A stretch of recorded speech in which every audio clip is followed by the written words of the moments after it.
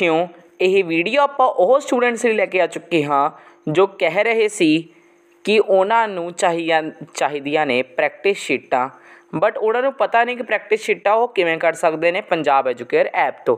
ਤਾਂ ਅੱਜ ਦੀ ਵੀਡੀਓ ਵਿੱਚ ਆਪਾਂ ਤੋਂ, ਸਭ ਨੂੰ ਦੱਸਣ ਜਾ ਰਹੇ ਹਾਂ ਕਿ ਪੰਜਾਬ ਐਜੂਕੇਅਰ ਵਿੱਚੋਂ ਤੁਸੀਂ ਕਿਵੇਂ ਕੱਢ ਸਕਦੇ ਹੋ ਕੰਪੀਟੈਂਸੀ ਐਨਹਾਂਸਮੈਂਟ ਪਲਾਨ ਜ਼ਿਆਦਾਤਰ ਬੱਚਿਆਂ ਨੂੰ ਇਹ ਪਤਾ ਹੋਵੇਗਾ ਬਟ ਜਿਨ੍ਹਾਂ ਨੂੰ ਪਤਾ ਨਹੀਂ, ਉਹਨਾਂ ਦੇ ਲਈ ਇਹ ਆਪਾਂ ਵੀਡੀਓ ਲੈ ਕੇ ਆ ਚੁੱਕੇ ਕਮੈਂਟ ਆ ਰਹੇ ਸੀ, ਆਪਾਂ ਨੂੰ ਇਸੇ ਕਾਰਨ ਵਾਸਤੇ ਵੀਡੀਓ ਲੈ ਕੇ ਆਏ ਹਾਂ।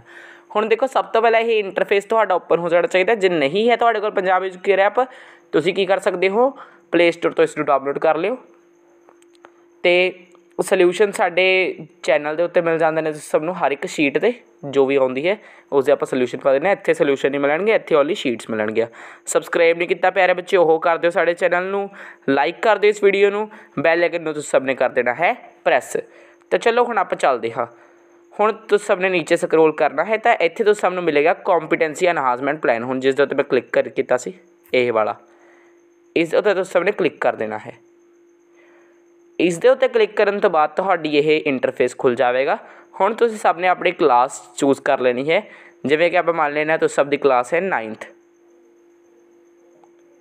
ਹੁਣ ਦੇਖੋ, ਇੱਥੇ ਤੁਸੀਂ ਸਭ ਨੂੰ ਇੰਟਰਫੇਸ ਮਿਲ ਜਾਵੇਗਾ। Maths Punjabi science social science ਜੇ ਮੰਨ ਲੈਣਾ ਤੁਸੀਂ ਆਪਣੇ ਪੰਜਾਬੀ ਦੀ ਕਰਨੀ ਹੈ ਤਾਂ ਪੰਜਾਬੀ ਦੇ ਵਿੱਚ ਜਾ ਕੇ ਇੱਥੇ ਵੀਕਲੀ ਪ੍ਰੈਕਟਿਸ ਸ਼ੀਟ ਨੰਬਰ 9 ਦੇ ਉੱਤੇ ਕਲਿੱਕ ਕਰ ਦਿਓ 8 ਦੇ ਉੱਤੇ ਕਲਿੱਕ ਕਰੋ ਜੋ ਵੀ ਚਾਹੀਦੀ ਉਸ ਦੇ ਉੱਤੇ ਕਲਿੱਕ ਕਰੋ। ਹੁਣ ਦੇਖੋ, ਜੇ ਮੰਨ ਲੈਨੇ ਆਪਾਂ ਨੂੰ ਵੀਕਲੀ ਪ੍ਰੈਕਟਿਸ ਸ਼ੀਟ ਨੰਬਰ 9 ਚਾਹੀਦੀ ਹੈ, ਇਸ ਦੇ ਉੱਤੇ ਆਪਾਂ ਨੇ ਕਲਿੱਕ ਕੀਤਾ, ਇਹ ਓਪਨ ਹੋ ਜਾਵੇਗੀ ਤੁਹਾਡੀ ਪਿਆਰੇ ਬੱਚਿਓ ਇਸ ਦੇ ਤੁਸੀਂ ਸਕਰੀਨਸ਼ਾਟ ਲੈ ਸਕਦੇ ਹੋ, ਜੋ ਵੀ ਲੈਣਾ ਚਾਹੋ ਲੈ ਸਕਦੇ ਹੋ, ਬਿਲਕੁਲ ਫ੍ਰੀ ਨੇ ਇਹ।